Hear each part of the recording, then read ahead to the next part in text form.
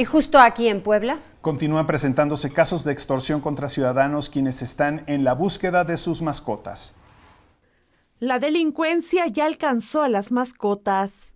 Desde hace tiempo se viene presentando una serie de secuestros de perros sin importar la raza y prácticamente cualquiera puede ser víctima.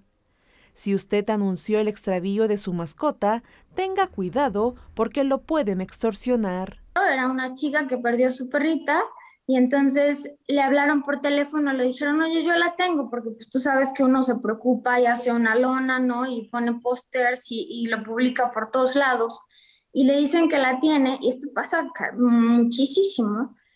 Y le dicen, pero ¿sabes qué? La tengo en, yo vivo en Veracruz, entonces deposítame tanto dinero para que te la lleve. De acuerdo con defensores de animales, es un nuevo modo de operación de los delincuentes y que solo se puede castigar como extorsión. Sería mucho más interesante, mucho mejor que abriéramos este panorama para los animales, les otorgáramos los derechos que ya tienen y entonces pudieran entrar en todos los tipos penales, porque finalmente, si bien es cierto que perdón, ya, ya resumiendo, se parece mucho al delito de secuestro, no lo es. En el derecho puro, estricto, no lo es. Camila Serrano del Movimiento Animalista de Puebla asegura que desde el 2013 está tipificado como delito el maltrato animal, pero falta legislar en materia de robo y el secuestro de las mascotas. Porque la extorsión, el tipo penal de extorsión habla de, de algo un patrimonio moral con el cual te están amenazando y te están, te están pidiendo,